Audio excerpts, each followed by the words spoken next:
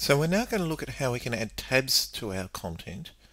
Again, I'm in the Assets area and in the Library item, and I'm going to pull out the library called Tabs. Place that in the page where I want it to be. I'm going to detach that from the original in order to edit the content. And before I go any further, I'm going to save this and preview in the browser so I can show you what these tabs do. So into the browser now. You can see that we've got a series of tabs here. There's four of them. That as we click through the tabs, of course, the content here changes.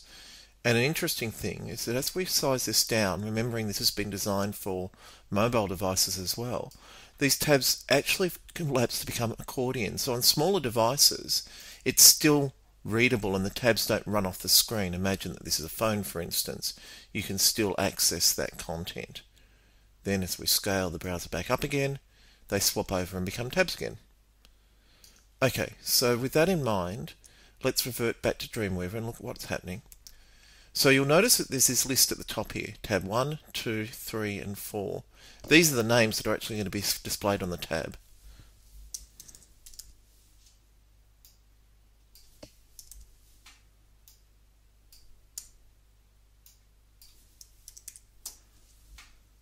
And then there are a series of boxes, four of them in total, to match the four dot point items in front. So basically they just line up.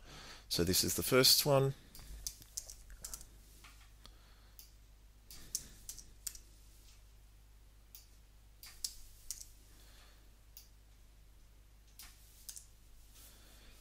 Okay, so if I save that now and go back into my browser, hit refresh, you'll notice that things have changed in the way that we change them in the content. So it's fairly straightforward. I'll go back into Dreamweaver again. Of course, we can add into each tab whatever normal content we would expect. We can um, place a show hide item in there, for instance. Uh, just drop one of those in the first box. I won't for now bother putting any content in them, just I'll leave them there as placeholders, but you get the idea. In this box, I could put a footnote. No, let me put a pull quote. Here we are. Place that in there. Again, for for right now, I'm not going to actually bother adding any content to those, but you get the point. Save that, return to the browser, refresh, navigate through. There's my show hide in that first tab. In the second tab, there's a pull quote, etc. So within each of these tabbed areas, you can add or remove content in the normal ways you'd expect. The only other thing you might need to do is to adjust the number of tabs, either take tabs away or remove them. I'll start by taking tab away. So recall that we've got four dot points here and four tabs at the moment. Imagine we just wanted three tabs. So I might delete the, the final one of these.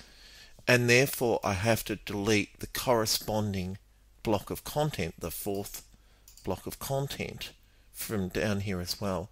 I need to be quite sure that I'm selecting the entire tab and I use this little browser here to do that. So I'm going to choose the div, the divider, that is the wrapper for that tab and I'm going to delete it. Save this, go back refresh, and now you'll notice that there's only three tabs. Imagine that you wanted to go the opposite way. In fact, you didn't want three tabs or four, but perhaps five. So I'm going to do that as well. So it's kind of a reverse of the opposite.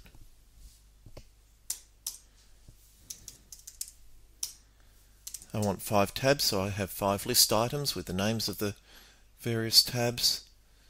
I'm going to go down now I need to add, recall that I've got three tabs at the moment, I'm going to need to add another two. So I'm going to select one of the existing tabs, copy that, paste it, and I'm going to paste it so that now I have one, two, three, four, five. So I've got the right number of tabs. So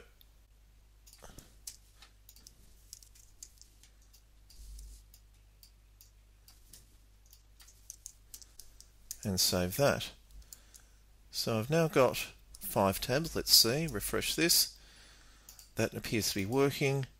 I've got all of my tabs on the top. So you can expand those as you like and recall again that for someone on a smaller browser, now what they're going to have is these as, as a collapsing uh, accordion style uh, menu, but with the same content.